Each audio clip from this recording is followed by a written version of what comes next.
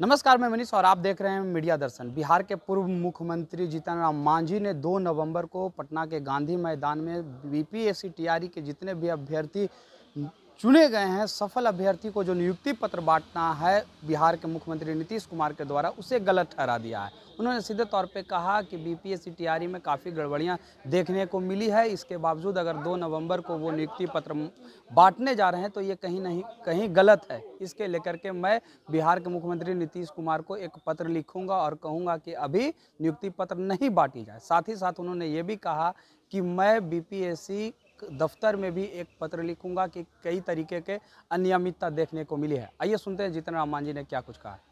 देखिए, हम लोग सीट के पीछे नहीं पड़े हुए हैं। जो प्रक्रिया है, एनडीए का, एनडीए अपना चुनाव में लगे हुए हैं। कहीं कहीं सब साथी लोग लगे हुए हैं, सबको मौका दिया जा रहा है काम करने का। और चुनाव के बाद हर जिला में हर हर प्रांत में, जहाँ लोकसभा का चुनाव तो सभी प्रांत में होना ही होना ही है। वहाँ एनडीए के टीम लोग आएँगे, शीर्षस्थ नेतागण में से प्रमुख लोग आएँगे और तय करेंगे। और इस बीच में कुछ एजेंसी से ऐसा आकलन किया जा रहा है कि कौन ऐसा कंस्टिट्यूंसी में जहाँ कौन जीत सकता है।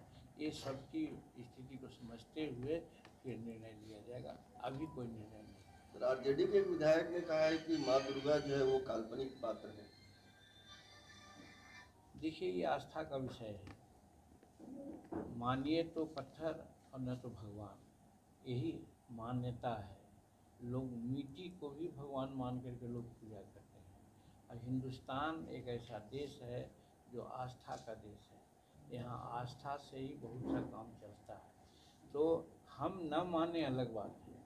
आप न मानिए अलग बात है, लेकिन कोई मानते हैं, उसके आस्था पर ठेस नहीं पहुंचाना चाहिए। अगर ऐसा वो बोलते हैं सार्वजनिक रूप में तो उनकी गलती है, वो कहें कि हम नहीं मानते। लेकिन दुनिया मान रही है, वैसे चीज़ को, उनको वर्जन करना चाहिए अपने वक्तव्य आरजेडी के मंत्री हैं, वो कहते हैं कि हम प्रतिदिन अफसर को गाली देते हैं। तुरंत यादव पर हाँ हमने भी सुना है ऐसा और देखा भी है टीवी पर। अब इसके संबंध में हम बहुत कुछ तो नहीं कहेंगे, लेकिन जो आदमी जिस संस्कार में पलता है तो उसी रूप में काम करता है और जिस पद्धति से वो काम लेता है, उसी पद्धति में विश्वास करता है। तो जहाँ तक आर यदि का सवाल है आर आज जो कार्यकलाप हम लोग देख रहे हैं, वो लगभग उनके बातों से मिलते जुलती हैं।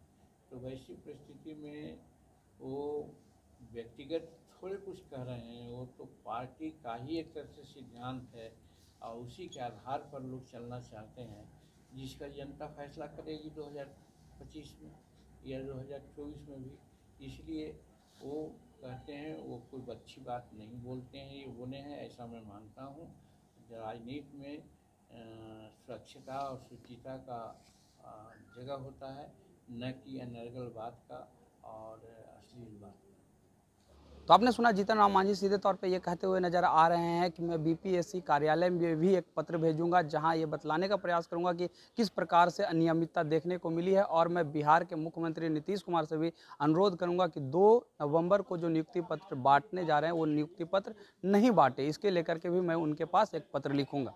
इस तरह के तमाम अपडेट के लिए देखते रहें मीडिया दर्शन। धन्यवाद।